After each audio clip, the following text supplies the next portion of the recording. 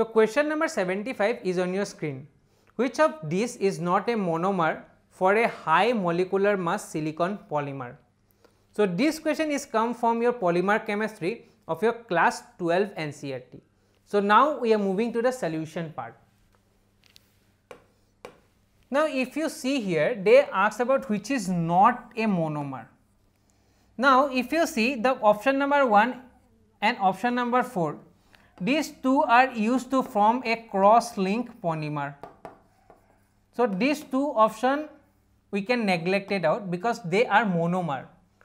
Now, if you see this one is used for the link that is line polymer. Okay.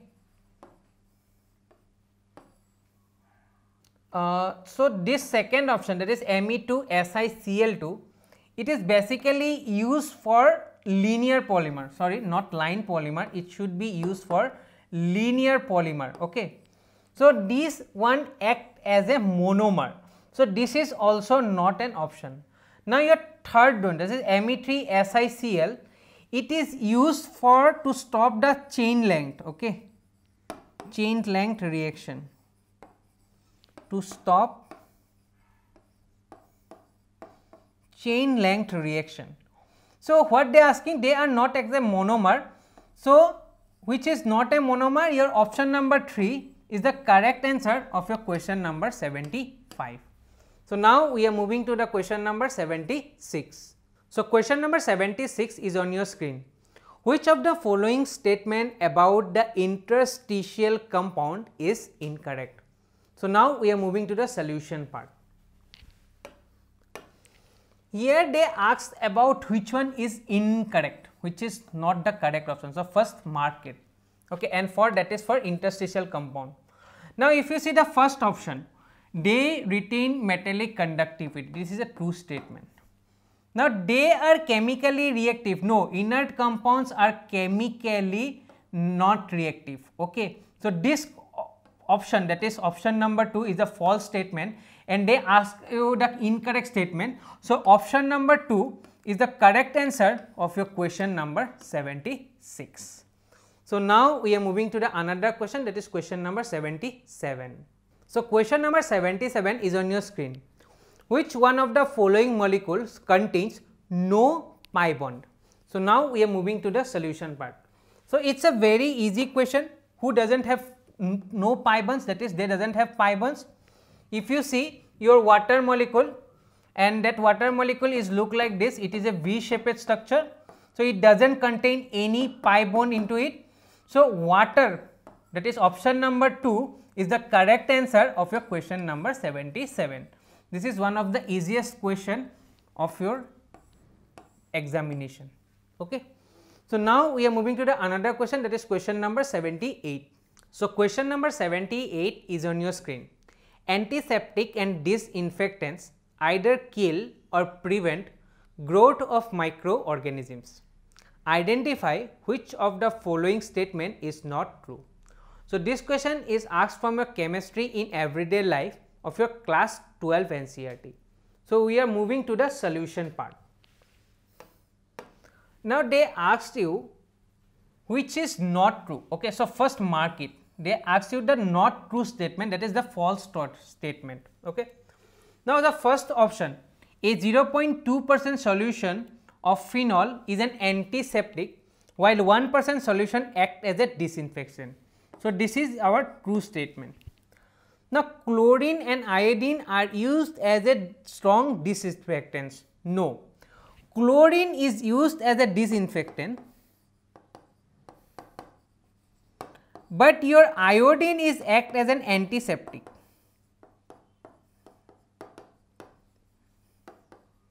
Okay. So, this one is a false statement and this is the correct answer because they ask you not a true statement. So, option number 2 is the correct answer of your question number 78. So, this is come from your chemistry in everyday life of your class 12 NCERT. So, now we are moving to the another question that is question number 79. So, question number 79 is on your screen. among the following ethers which one will produce methyl alcohol on treatment with hot concentrated hydrogen iodide. So, now we are moving to the solution part. Now, reaction of methyl alcohol that is uh, among the following which one will produce they produce the methyl alcohol on treatment with concentrated HI. Okay. Now, if you see this reaction it will be follow like suppose A I am taking this is the methyl alcohol when it react with hydrogen iodide it will give you a methyl alcohol that is CH3OH. So, this mechanism is called as SN1 mechanism. Okay? And in SN1 mechanism we know the carbocation carbocation will be formed okay? Carbocation will form. And we know the stability order for carbocation is tertiary then your secondary then your primary okay this order we are going to follow to see the carbocation stability now if you see among the four options if I am removing this bond here it will be positive and this is a primary carbocation. So, this is least stable. So, this is not our option. Now, if you see in the second position if I am removing this part and here it will be generate it will be give a secondary carbocation. If I am removing this part it will give you a tertiary carbocation and if I am removing this one again it will be generate here and it will be give you a primary carbocation. So, if you see the option number 3 where it will be generate as tertiary carbocation, this is the correct answer of your question number 79. So, how's the reaction will proceed?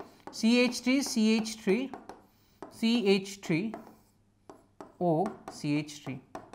So, when it react with hydrogen iodide, it will produce CH3, CH3, CH3 and it will be here as iodine and another product is OHCH3 and this is nothing but this is a methyl alcohol.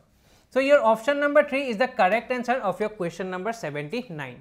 So, now we are moving to the another question that is question number 80. So, question number 80 is on your screen. Nylon is an example of. So, this question is come from a polymer chemistry of your class 12 NCERT and the answer is very easy. So, poly sorry that nylon that nylon is an example of polyamide.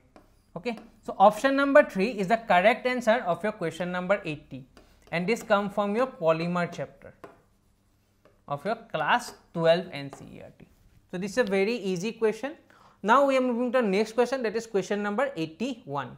So, question number 81 is on your screen. The structure of isobutyl group in organic compound is. So, now we are moving to the solution part. So, this is a very easy question. They ask you which one is the isobutyl group and if you know isobutyl group is look like this CH3, CH3, CH, CH2. So, this group is known as isobutyl group. Now, see the option where it will be given. This one no this is not the option. This is a no this is n group. This is also not possible. If you see option number 1 is the correct answer which is an isobutyl group. Now option number 1 is the correct answer of your question number 81 so now we are moving to the next question that is question number 82 so question number 82 is on your screen nitrobenzene on reaction with concentrated nitric acid and sulfuric acid at 80 to 100 degrees Celsius form which of the following products. So, now we are moving to the solution part. So, this question is come from your nitrogen containing compound of your class 12 NCERT and when they ask the nitrobenzene reaction with concentrated nitric acid and sulfuric acid. So, it will give to introduce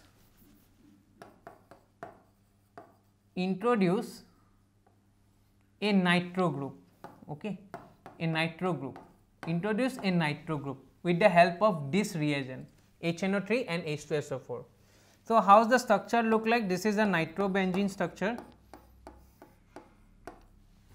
And when this nitrobenzene is react with HNO3 plus H2SO4. So, what will happen this nitro group is nothing but this is a meta directing group okay. I already mentioned that electron withdrawing group and electron withdrawing groups are the meta directing group where electron donating group like CH3 those groups are a ortho and para directing group. So, here this is ortho, this is meta and this is para. So, your nitro group will be introduced in this position and you are obtaining the structure like this. And if I do the numbering 1, 2 and 3 means 1 and 3 position we get a nitro group. Now, if you see your options 1 2 no 1 2 is not possible 1 3 dinitrobenzene 1 3 dinitrobenzene is the correct answer of your question number 82. So, now we are moving to the next question that is question number 83. So, question number 83 is on your screen. Some meta directing substitution in aromatic substitutions are given which one is the most deactivating group. So, now we are moving to the solution part. So, they ask about the which is most deactivating group. Most deactivating groups are those groups which are electron withdrawing its nature. Okay. So, among this following if you see the NO2 that is nitro group is the most deactivating group in aromatic substitution. So, option number 4 is the correct answer of your question number 83. This concept is also given in your GOC that is general organic chemistry part of your class 11 NCERT. So, now we are moving to the next question that is question number 84. So, question number 84 is on your screen. 6.02 into 10 to the power 20 molecules of urea are present in 100 ml of its solution is. So, this question is come from your general chemistry that is the some basic concepts of your chemistry of your class 11 NCERT. So, now we are moving to the solution part. Now, if you see they are giving the molecules right here they are given as a molecules and we know 1 mole is nothing but 6.023 into 10 to the power 23 molecules okay that is Avogadro number.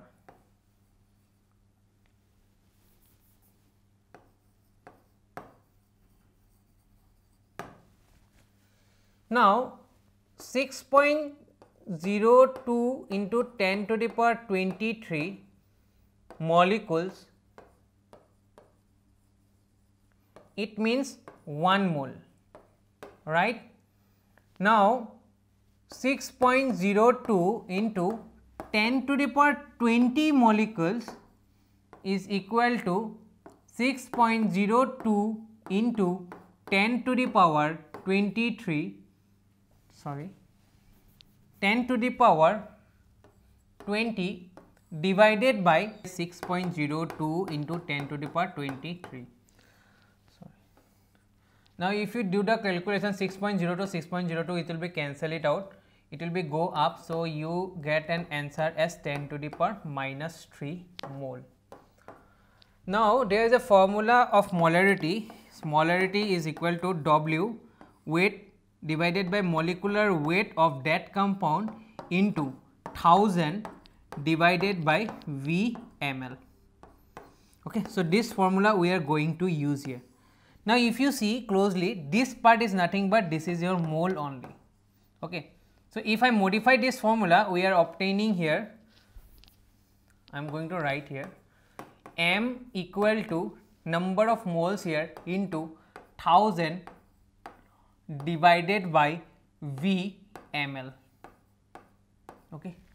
So, if you see how much mole we are getting 10 to the power minus 3, 10 to the power minus 3 into 1000 divided by V ml and how much ml they are giving solution that is 100 it should be in 100. So, these two and these two are cancel it out. Now, if I am writing this part is like this and this, this one will be going out. So, your answer will be coming as 0 0.01. Now, if you see in your option, option number 2 that is 0.01 molar is the correct answer of your question number 84.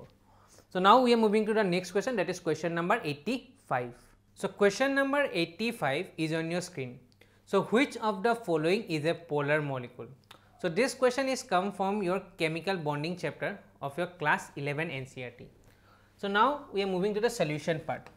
So, this question is also a very easy question like polar molecule. So, for that we have to find out the polarity. Now, if you see among this whole 4 option your SiF4 how it will be look like in silicon it will be coming as college students get okay. So, here if you see sorry option number 4 that is SF4 okay. So, it is having 6 electrons right. So, 1, 2, 3, 4, 5 and 6 that is the valence electron. Now, 4 is for bonded F, F, F and F. So, 4 is bonded, 1 is lone pair that is it will be coming as 5. So, it should be an sp3d. Now, if you see the BF3, it is having this uh, BF3 the structure is look like this. So, definitely the dipole moment for this is equal to 0. So, this is not a polar molecule. Now, for SiF4 it is also look like this.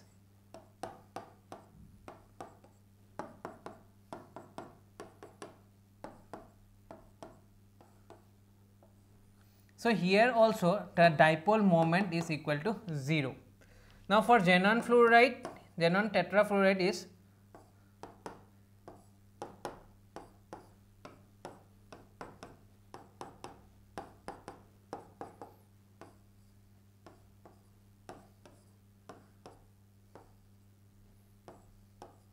Now see these are cancel each other and these two are cancelled with each other. So, this one is also mu equal to 0.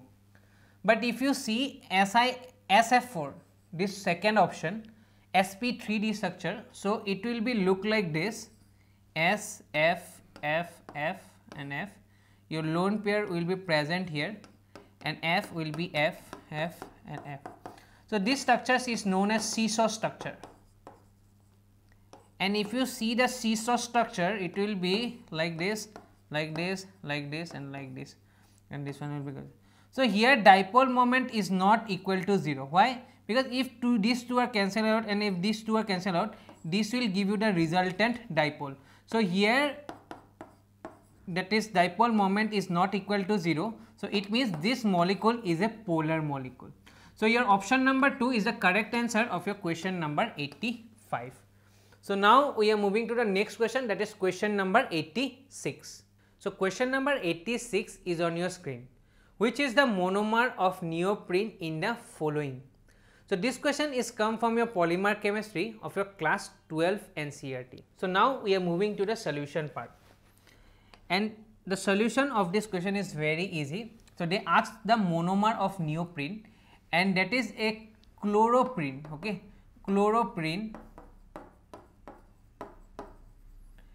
This is the monomer of a neoprene. Now, among the options, option number 3 is nothing but this is a chloroprene structure and question number 86, option number 3 is the correct answer. So, now we are moving to the next question that is question number 87. So, question number 87 is on your screen. They given one reaction and they asked what is A and A is nothing but this is an reagent. So, now we are moving to the solution part. So, if you see the reactant this N2Cl minus it will be not in the product means this N2Cl plus it reduced to H.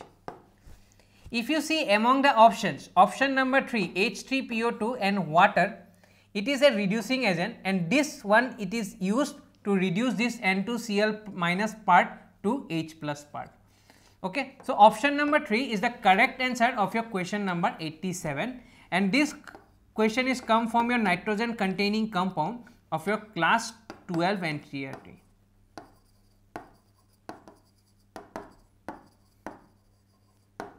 of your class 12 NCERT.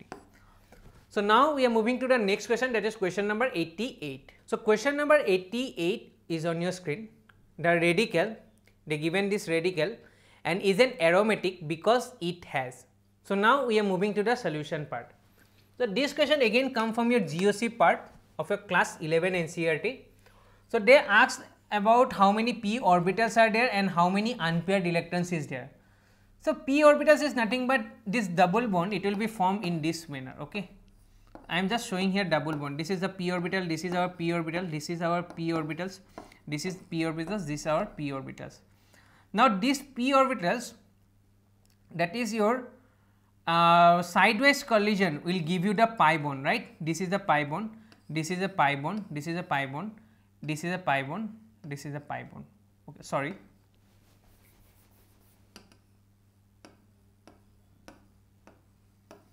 So these are the pi bond okay? These are pi bonds. So how many pi bonds will be there? So 1 2 3 4 5 6 so, 6 p orbitals are involving. Now, if you see here 7 p orbitals are given. So, this we can neglect it out, this also we can neglect it out because C has 7 p orbitals. Now, they asked about the number of unpaired electrons. See here also 1, 2, 3, 4 because they are saying it is an aromatic.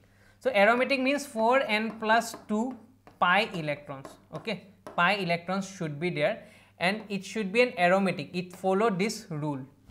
Now, if you see here the unpaired electrons, how many unpaired electrons is there? The 6 unpaired electrons will be present. Now, peoples are the students may confuse that this one is be there. So, they can consider as 7. If you are taking this 7, this is not an aromatic compound, okay. But here they already mentioned that it is an aromatic compound. So, aromatic compounds it should having a 6 unpaired electrons. So, if you see among that option, option number 1 where 6 p orbitals are given and 6 unpaired electrons will be there. So, option number 1 is the correct answer of your question number 88. So, do not forget that if you calculate this one that is the radical part it will be 7 unpaired electrons and if there are 7 unpaired electrons it is not an aromatic compound. But in the question they already mentioned aromatic compound so it should be a 6 unpaired electrons. Now, we are moving to the next question that is question number 89. So, question number 89 is on your screen. The order of stability of the following tautomeric compound is. So, now we are moving to the solution part. Now, if you see the options, first let us see the option number 3. Okay. In option number 3, if you see there is an hydrogen bond interaction as well as they having this bond in conjugation. So, here hydrogen bonding it is not a bonding hydrogen interaction I am writing here hydrogen interaction as well as your resonance. So, as a result this tree that is the option number 3 is the more stable okay because there is a two reason one is hydrogen bonding another one is resonance. Now, if you see the option number 2, if from this if I am removing this hydrogen, so what will happen? We will get CH3 C double bond O. I am writing here H minus we are H plus we are going to remove from this part. So, it will be a CH minus right H plus if I am removing from this side. So, it having this CH minus C double bond O and CH3. Now, if you see this minus sign it will be go undergo conjugation with this double bond from this side also this side also. So, due to conjugation this is the second stability conjugation ok. So, after option number 3 option number 2 is be more stable. Now, if you see here only one thing is there that is hydrogen interaction, but conjugation will be not there. So, absence of conjugation only hydrogen interaction there that is the only one thing will be there to make it stable. So, it will be least stable among the others too. So, your order should be third is more stable than second and second is more stable than 1. Now, see among the option which one is follow. If you see your only one option that is option number 2 follow this order. So, option number 2 is the correct answer of your question number 89. Again I am telling option number third it will be stable due to two reason one is hydrogen interaction another one is resonance option 2 that is not option 2 that is answer 2 that is only one thing will be there to make it stable that is conjugation and in 1 it will be only one thing that is your hydrogen interactions. So, now we moving to the last question that is question number 90. So, question number 90 is on your screen which of the following compounds will not undergo Friedel-Crafts reaction easily. So, this question is come from your GOC part of your class 11 NCERT and now we are moving to the solution part. So, it is a very easy question they asked about will not undergo Friedel-Crafts reaction. Okay. So, Friedel-Crafts reaction where we are attachment on your attachment on your benzene ring. Okay.